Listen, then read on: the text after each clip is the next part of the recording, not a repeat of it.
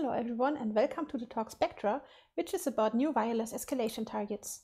This is a joint work by me, Jiska, and Francesco, who has been working a lot with Wi-Fi while I have been working with Bluetooth in the past. And in this work, we join our abilities to build a new attack scheme. So the motivation of this is as simple as this. I found a partial Bluetooth RCE a while ago, and then a bit later, a student of mine, Jan, built a fuzzer Frankenstein which emulates the Bluetooth chips, and he also found a couple of more remote code executions. And with this, I said, like, yeah, that's a great chance. Now we can tour the world, tell everyone, like, we have Bluetooth remote code execution, take my unicorn, travel with it, and just show everyone. But the thing is that people said they are not too surprised about Bluetooth remote code execution because, you know, Bluetooth after 22 years is really indistinguishable from Magic and they kind of expected that it is broken. And then people also told me, you know, there is Bluetooth RCE, there's Wi-Fi RCE, and Wi-Fi RCE is much cooler because, first of all, Bluetooth, it's connected via UART and Wi-Fi is connected with PCI Express. That is just nicer for exploitation. And also, uh, if you can pop calc, it's a nice attack, but if you cannot pop calc, then what kind of attack is a Bluetooth on-chip remote code execution? So I was thinking because now the idea is of course like I could try to like take the Bluetooth RC and then break into the operating system all the way up. But another funny attack would be to instead attack the Wi-Fi chip or maybe even the LTE chip. So to break the inter-chip separation instead of doing the same thing again of breaking into the operating system. And then I called uh, Francesco and said like, hey, let's build speculative transmission. And the idea of the attack was that in a smartphone, you have the same uh, frequency used by Wi-Fi and Bluetooth, and LTE has harmonics in the same spectrum, and they cause interference in, in such a small device. So they need to arbitrate the channel access, which means they need to actually tell I'm sending a packet, can you please not send a packet right now and so on, and also need to tell priorities and so on. And this is called a coex me uh, coexistence mechanism and it's a performance optimization. And of course, you could now also instead speculatively transmit a packet and use this to infer what the other cores are doing. So this was the initial attack idea. In the end, it turned out to be a bit more of a spectrum transmission, but this is the attack scheme. Of course, it requires a lot of uh, exploitation before, so it requires the Bluetooth remote code execution or a Wi-Fi remote code execution to then escalate into the other chip. But the interesting part here is, as this is a connection directly between the chips, you cannot block it with the operating system. So there is a very nice attack vector that is hard to prevent. And if you look into a modern iPhone, this is what it roughly looks like. So you have the Bluetooth and the Wi-Fi chip, which are within a combo chip, but they still run on different ARM cores. And they are connected via the serial enhanced coexistence interface. This is what we are going to attack. The combo chip is also interconnected with an LTE chip, and this is using mobile wireless standards. And then you can also see that the Bluetooth daemon has fewer rights than the Wi-Fi daemon and the Bluetooth chip is usually connected with UART. The newer iPhones use PCI Express here. And now if you could escalate between the chips, you have new attacks paths that, that become possible. So for example, um, I could now start from Bluetooth over the air and then escalate into Wi-Fi and then go all the way up. Or I could also try to infer timings in between those chips and so on. The spectra impact can be very different depending on how this coexistence interface is implemented. So first of all, the most obvious one is the denial of service if one core denies transmission to another core, but it could also be information disclosure via timings or packet types and so on. And the worst case would be code execution, and for this one, you really need to screw up your implementation. When this attack has been first on the internet because of the Black Hat abstract, someone started tweeting and giving it other names. And I have to say, I also like the Queer Ghost attack, but uh, Spectra is like the original name. Of course, um, it's harder to find this on the internet because Spectra is just a very generic word. And now let's go for the Broadcom coexistence interface, which we are now going to exploit. This is also present in a couple of Cypress chips because Cypress acquired parts of Broadcom in 2016. So it's synonymous to be used here, so don't be confused if I mix up Broadcom and Cypress. It's all the same. Actually, Broadcom is a very nice target because they don't do any firmware checks. And no firmware checks means that if we are able to reverse engineer certain parts of the firmware, then we can also patch it within Wi-Fi and within Bluetooth. And there are no further checks, which means that there is no secure boot, no signature checking, etc. So you still need to understand what is going on to patch such a chip, but then there are no further security measures to prevent this. And those chips are in many, many, many devices. So for example, all iPhones, all MacBooks, iMacs, and also the older Apple Watches, the newest ones have a different one.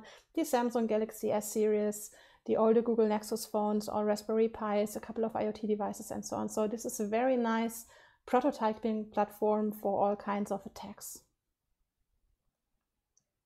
If you look into the older data sheets, you can also find a couple of details, still not everything, but the newer data sheets just don't exist. So we need to live with what is there, what is documented. And what you can see here, there's this Bluetooth chip, there is a Wi-Fi chip. They share an antenna, so they need to arbitrate access onto this one. And then there is a lot of stuff going on between those chips, which we are going to attack in the following. Nonetheless, they have different ARM cores. So this one has an ARM Cortex M3, there's the Cortex R4, and so on. So this is still separated in some ways. For understanding the uh, attacks, now we need to understand the serial enhanced coexistence interface, which is used between Wi-Fi and Bluetooth. It's also called ECI, so without the serial, and GCI, which might be global or generic coexistence interface, but it's all used in the same way in the datasheets. To understand it, the best way is to actually separate Bluetooth and Wi-Fi. And in this setup, you can see that there is a Bluetooth and a Wi-Fi board by Cypress, they don't have a shared antenna, so everything is separate. There are no side effects, and the only connection that they have is the serial enhanced coexistence interface, which we can now also intercept. So that means that we are actually able to observe each and every signal that is sent between those two boards, and there is nothing else that is going on that could block a transmission. If you look into this in detail, first of all, we did the experiments of streaming just some music over Bluetooth and then on the Wi-Fi chip we did a scan for other Wi-Fi's. You can see a peak when you start the scan. Actually it's two peaks uh, and then there are a couple of other peaks when you get the scan results and the end of the scan. And what is very interesting about this protocol already at this level is that the Bluetooth and Wi-Fi are sending with 3 megabaud over the serial interface. And 3 megabaud is also the same amount of data that is sent from the Bluetooth chip to the host to send the actual music of the stream. So you can imagine how much data there is within the coexistence interface. And now you can see that Bluetooth is within each peak actually sending some data that is annotated in hex here. And also Wi-Fi is sending some data. So each tiny peak there really has some information about the task that is running and other stuff that tells priorities of packets. And in the last example, you can also see a Bluetooth keyboard which has regular peaks that is then being sent um, while Wi-Fi is idle. So this is roughly what it looks like, just to give you some idea about this protocol. In the first attack, uh, we didn't even need to understand all the details of this. It's just a simple reconfiguration of this interface. So there are a lot, a lot, a lot of registers that are mapped into the Bluetooth ARM core that you can write into or read from. And actually, I tried to understand all of them in the very beginning, and you can also do fancy stuff with this. But I didn't understand all of them, and then Francesco just told me, well, if you don't understand it, just try breaking it. Just write something in all those registers and see what breaks. And I found out when I write just Fs into the GCI chip control, this crashes Wi-Fi. And more interestingly, in this evaluation board setup, I could even see some voltage drop on the logic analyzer. This was very weird. And on some devices, this even causes a kernel panic because upon writing to the GCI chip control within Bluetooth, uh, Wi-Fi might stop or even spam stuff over PCI Express and so on, and then there are very weird effects from this. I tested it on a couple of devices, so starting from the Nexus 5, but then also going all the way up to the newest MacBooks and iPhones and so on, and the Samsung Galaxy S10, S20. And what you can see here is that, first of all, depending on the date of the chip, you have a slightly different scheme, but on the newest ones, you just write Fs into one address. And already this is sufficient to have a kernel panic on a lot of those devices. On some of them, it's also just Wi-Fi that restarts and that's it. Now this already looks very promising for such a simple attack. And because of this, we tried to build more fancy attacks with this primitive. And this is what Francesco is now going to tell you about.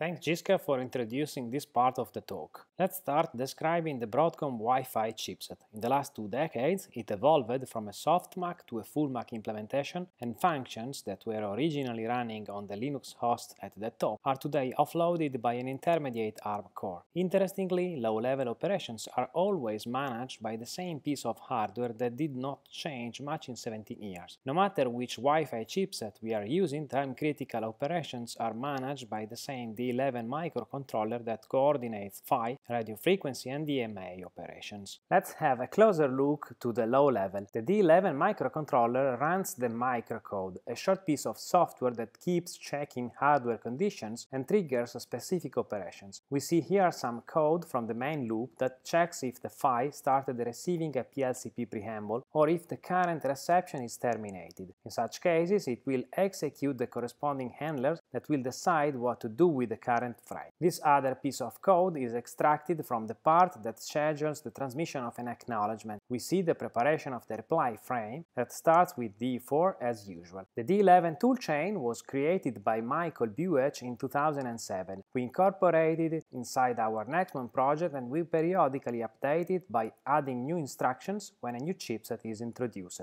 As spotting the U-code in the ARM binary blob is easy, we can modify it adding customized parts as we will see later. The D11 CPU coordinates many blocks. First of all, it controls the transmission and reception engines, it manages channels access by scheduling transmissions, and decides which received frames should be pushed to the ARM core. It can configure the PHY and the radio, and it does so by running the U-code that is loaded into the U-code memory by the ARM firmware during initialization. D11 has access to an 8 kilobyte shared memory where it keeps its configuration and state variables. And it also accesses indirectly the ARM memory, where packets ready for transmissions are queued for deciding which packets can be transmitted or aggregated. D11 is equipped with general-purpose timers and with many different interfaces for talking to other parts of the chipset, like the SECI interface.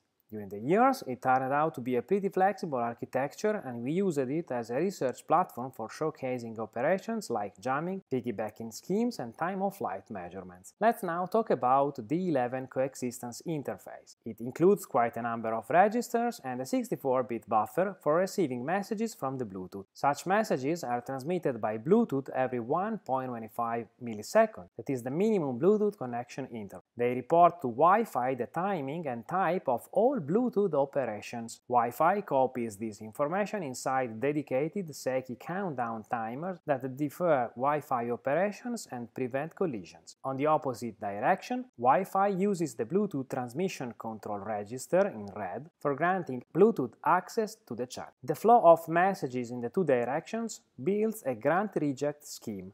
As we will see, in our attacks, we used the knowledge we collected on such registers for breaking such scheme. According to our analysis, more than 10% of the U-code is dedicated to coexistence. As in general many other operations take much less code, we understand how much complex is the coexistence interface. Finally, by programming two boards for transmitting SECI messages when receiving the same Wi-Fi beacon, we measured, with the help of an external FPGA, the jitter of the SECI line. It turned out to be Gaussian with 200 nanosecond deviation, which is perfect for this application. So let's see how we broke the grant reject scheme. We did that to see the effects when watching a movie that requires to download content over the Wi-Fi and send audio to a Bluetooth headset. At the bottom, in green, we see SECI grant messages transmitted by the Wi-Fi. Bluetooth uses them for understanding when it can transmit audio to the headset. We introduced into the U-code a few lines for configuring the Wi-Fi chipset remotely from the air interface. We can hence prevent the Wi-Fi from sending SECI grant messages to Bluetooth.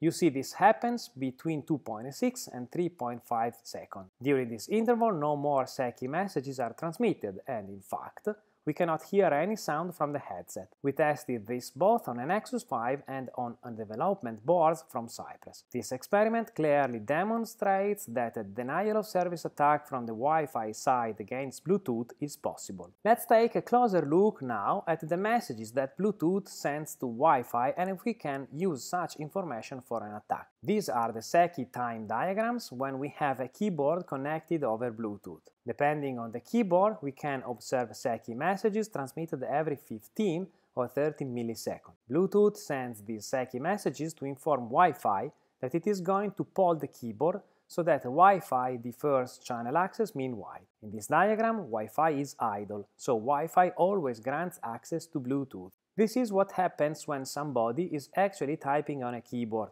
At the bottom we have the periodic sequence of SECI messages, on top we have the key presses sniffed by Wireshark when capturing from the Bluetooth interface. As we are typing with moderate speed, each key press is separate from the others, and we can also see the Bluetooth message with key release following each key press. In between we can see the HID data captured by Wireshark with a specific event ID that represents a key press. Below we see SECI messages that we filtered on the Wi-Fi chipset by selecting the the same message type. This demonstrates that at the Wi-Fi side we can easily distinguish SECI messages related to key presses. This clearly demonstrates that having access to the Wi-Fi chipset is enough for measuring key press timings with very accurate resolution. And we know that in some cases, with the help of some artificial intelligence or classification technique, this is enough for guessing what a user is typing. We hence believe that without any further protection, the SECI interface can be used for mounting side-channel attacks, and we requested a CVE for reporting the associated vulnerability. Jiska, the ground is yours again. Thank you, Francesco, for the very detailed explanations about the serial enhanced coexistence interface and attacks on it. There's still one thing mentioned in the datasheet which was clearly missing, which is the WLAN RAM sharing. And in the following, we are also going to attack this. I would call this effect when you spend too much time looking for very fancy side channels and dig deeper into all of this and try to explore them, while there is the one obvious thing in a datasheet that you just couldn't find within the serial enhanced coexistence interface. And for us, this was this WLAN RAM sharing. So it must be somewhere, it's in the datasheet errors, just go into one direction here from Bluetooth to Wi-Fi. And we just didn't understand where it is and couldn't find it for quite a long time. And the reason for this is that the Cypress boards come with some development kit and within this there are some symbol leaks, but the problem here is there's nothing mentioned with WLAN. And so there probably is no WLAN RAM sharing, I thought. Maybe it's just another word for the enhanced coexistence mappings. But then there was also another part of symbols and I was able to obtain a ROM image. And it's not from a development board, but actually from a MacBook.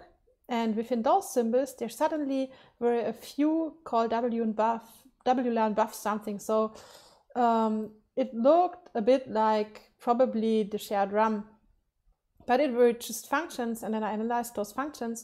And there was one function that was polling somewhere in the 680000 region. And actually, when I saw this, then I tried to read it. It sometimes crashes if you don't do it in the right order and so on. But in the beginning of the section, I actually saw, wow, there is a string 802.11 something on the device where I did this. And then I was like, probably I'm already in there.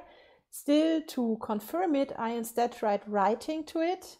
And when I write to this, what happens is that quite often the Wi-Fi crashes. So within Bluetooth, I write into those registers and suddenly Wi-Fi crashes. And the nice part about a Wi-Fi crash is that on a couple of devices, this is causing a crash dump and this crash dump actually contains parts of the RAM image. So I could write data that I know and try to find the same data again to make the mapping and find like how Wi-Fi and Bluetooth are mapped into each other.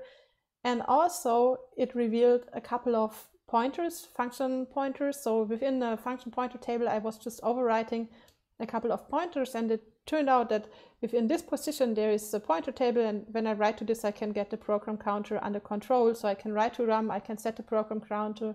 So I can have code execution. And that was really amazing. I have a demo video for this on a MacBook. The mapping is slightly different. So on the left hand side I use InternalBlue to write assembly instructions because I'm just writing within a function and not within a function pointer. And then on the right hand side, you see the Wi-Fi crash logs on macOS and you can see that I can get a program counter under control. And this is how fast this attack works. So just within Bluetooth, I can get code execution in Wi-Fi.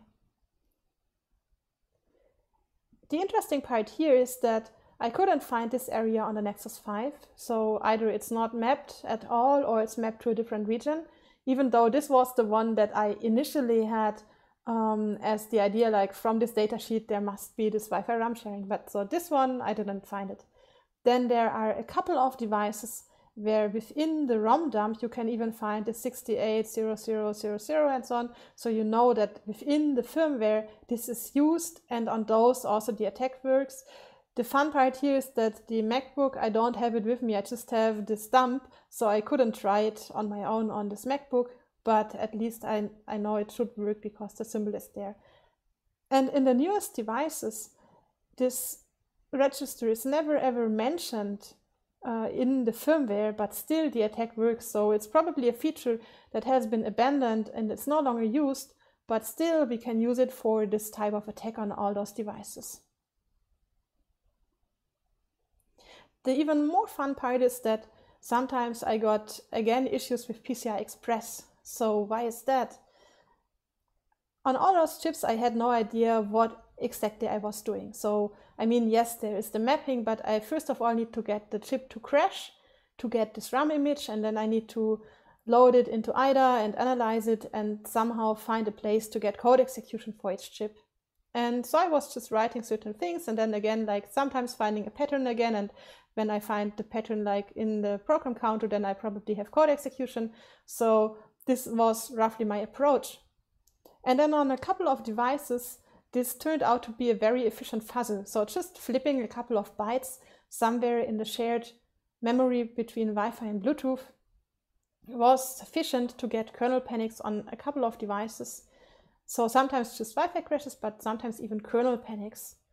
And this is interesting because there are, of course, also some memory areas that are used for the PCI Express queue between the Wi-Fi chip and the host and so on, or it might just simply block something within the communication between the Wi-Fi chip and the host.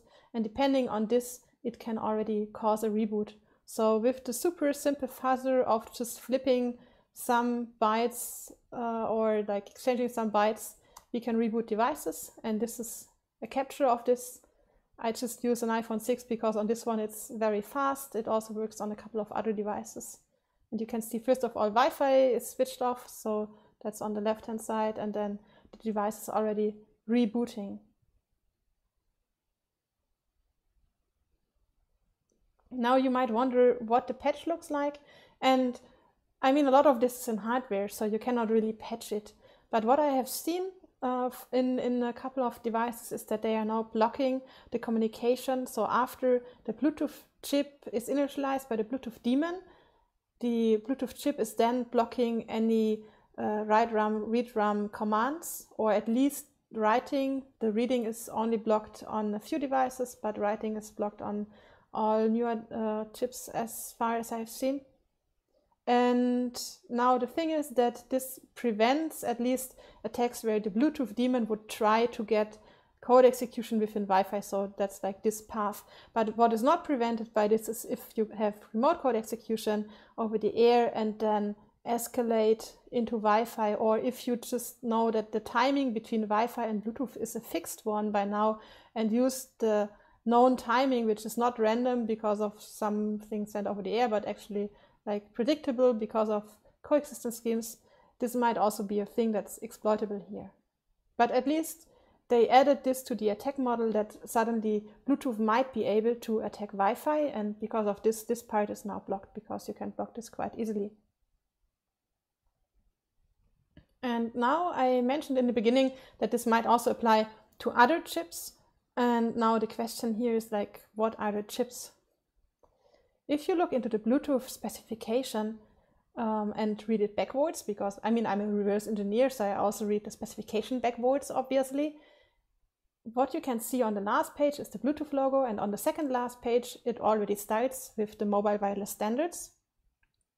And this is another serial um, protocol which is used between Wi-Fi and Bluetooth chips or Bluetooth chips and LTE. And they are also sending activity information and so on over UART. And then there is another thing that goes via the operating system to initially initially uh, configure it.